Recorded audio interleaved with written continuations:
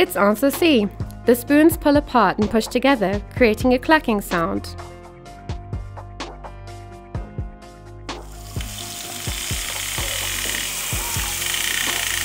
At a slightly greater distance from the two spoons, the water jet pushes the two spoons apart. Then they swing back together again. At this small distance, the two spoons pull through the water, which has a very high flow rate resulting in what is known as the Bernoulli effect, meeting each other at the back and bouncing off again, creating a rhythmic clacking noise.